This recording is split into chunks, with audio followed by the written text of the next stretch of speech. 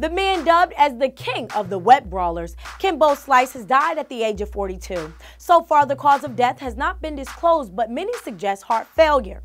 Now, before there were YouTube stars like Justin Bieber and Soulja Boy, there was Kimbo Slice. He became an instant sensation by filming his street fights that took place outside in parking lots or backyards, bringing in millions of viewers. Kimbo could knock you out faster than Tyson. One guy even paid Kimbo $50 just to punch him in the face.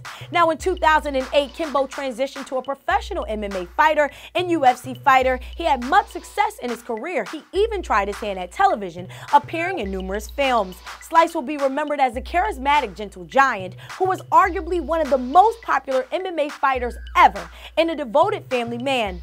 His loss leaves many hearts heavy, but our prayers are with his family and loved ones. Kimbo, you are the realest, and our prayers are going up. Leave your condolences below in our comment section, or you guys can hit us up on Twitter using the hashtag BETBreaks. For more info or news, visit BET.com right now. I'm Jamila Mustafa at JMedia underscore. You're now watching BET Breaks, where we're always giving you the latest news.